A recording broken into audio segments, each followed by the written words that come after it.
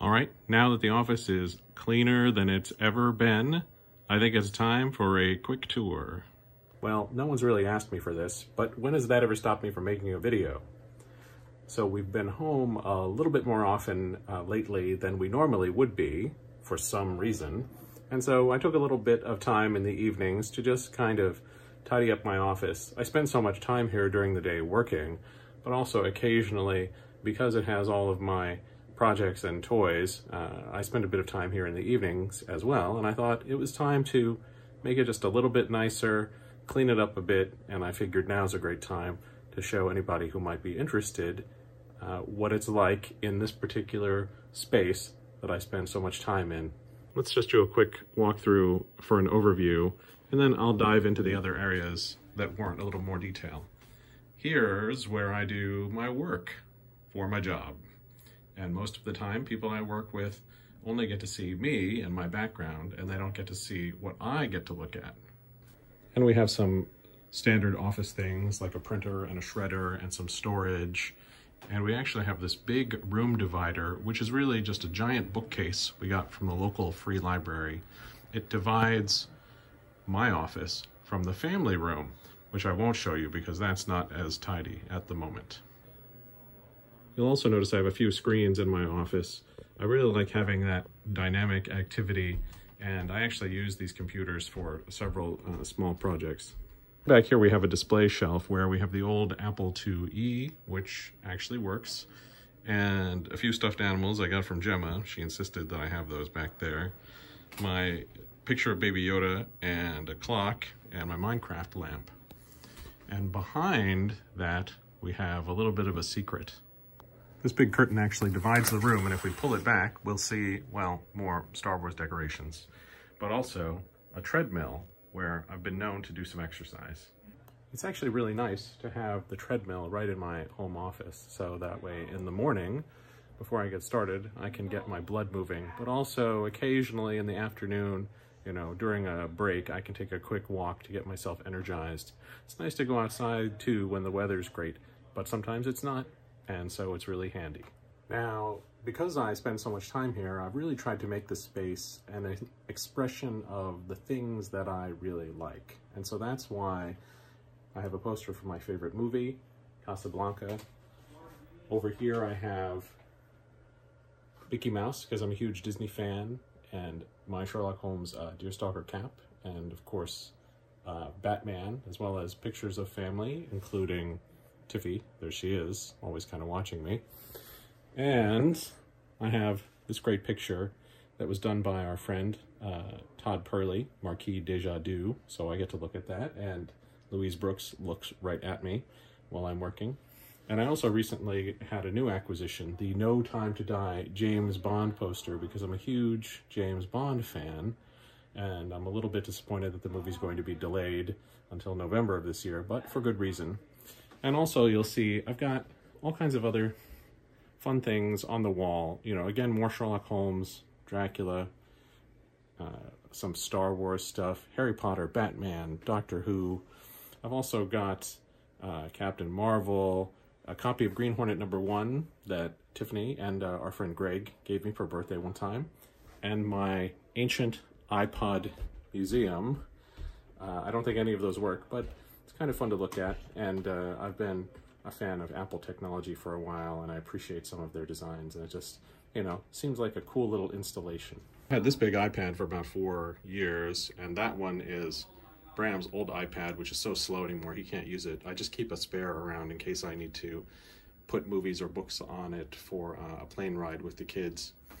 Uh, and also, my newest acquisition for this the office was this Varidesk standing desk. So I really like being able to go over and lift it up by the handles and then stand up when I feel like standing. And so when I lift up the standing desk, it looks just like that. It's the perfect height for typing. And I find that when I'm on phone and video calls, standing up is really nice. It helps me stay activated. But sometimes when I need to concentrate and when I need to write, it's much better to sit down for whatever reason. So that's what I do.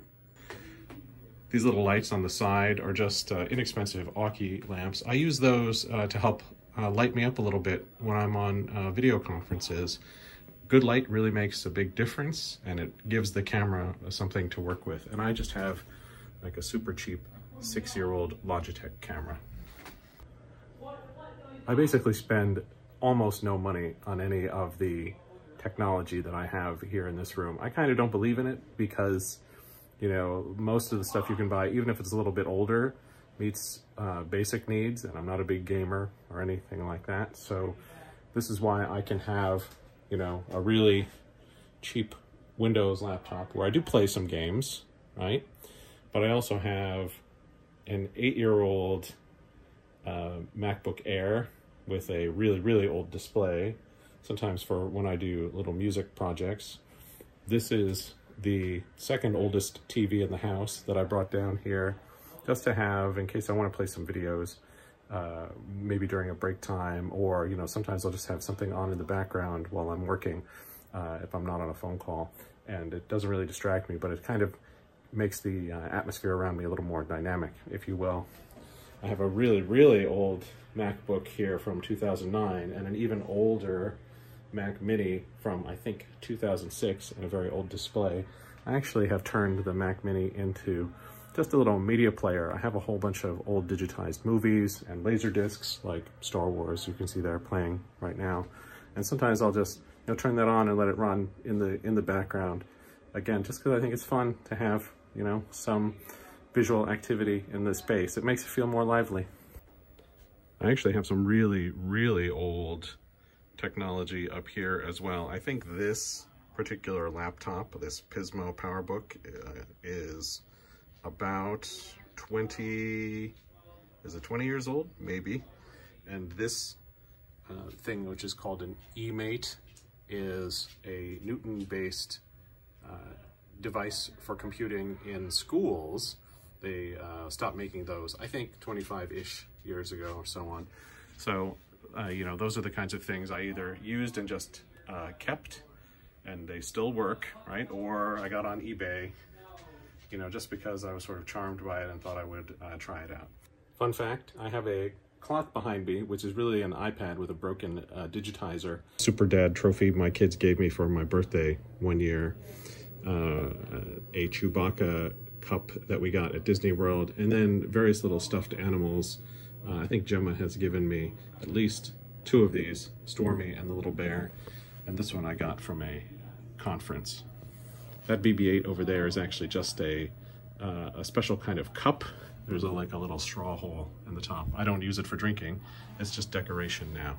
And this Minecraft lamp was super cheap on sale uh, at some point, and it just is a fun thing to have in the background. The kids actually like Minecraft quite a bit more than I do.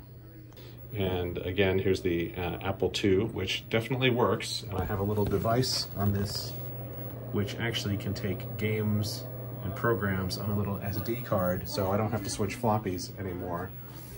And I have some succulent plants over here that uh, are the only things I've been able to keep alive. And I've tried many times uh, to plant things and have them grow in here. And I just don't have a talent for that. And so lastly, we actually have uh, tons of books. This is a small selection and I keep most of my comic books here as well, although I almost never uh, drag them out. Uh, I think in the household we have more than about 2,000 books at this point, so there are many more on the other side of this shelf, which really helps, again, to divide my office from the rest of the house. So every once in a while I'm able to find a piece of art that I uh, really like that is not too expensive to adorn the walls uh, and surfaces of my office. But sometimes stuff just comes up, like this sketch that Gemma did of Rey from Star Wars. And I thought, oh, that's so cute. I think I'll put it on my wall.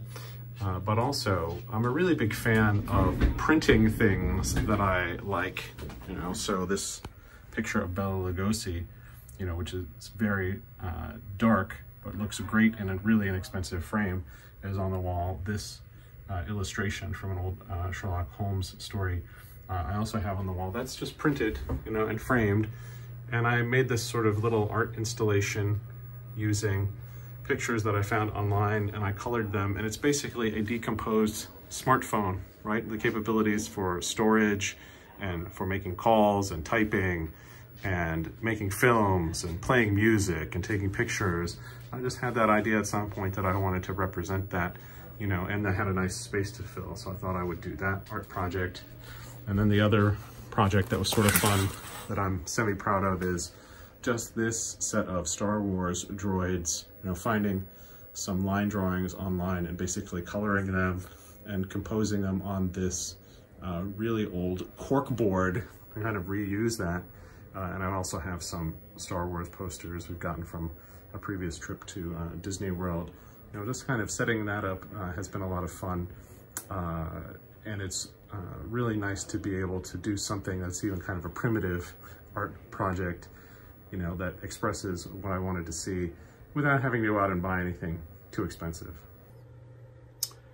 So that's it. That's the tour of my home office that nobody asked for, but I thought it would be a fun thing to do.